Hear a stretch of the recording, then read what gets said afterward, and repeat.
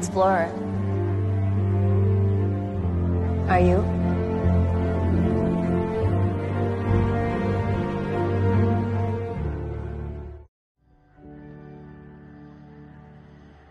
I'm half Norwegian and I'm half Thai.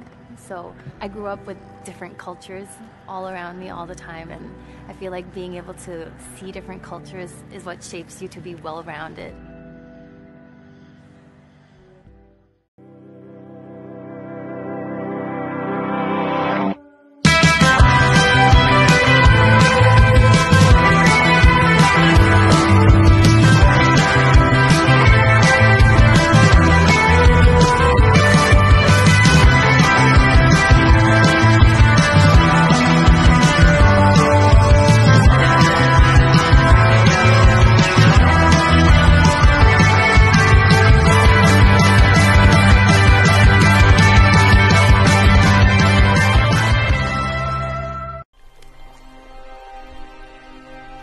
A powerful empress rules a kingdom of ice.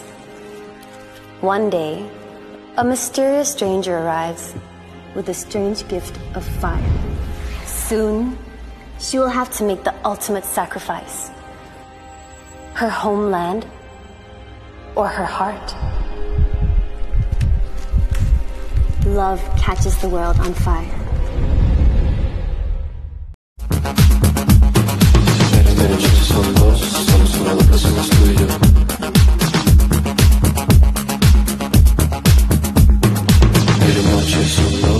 Siamo sulla propria solo sto io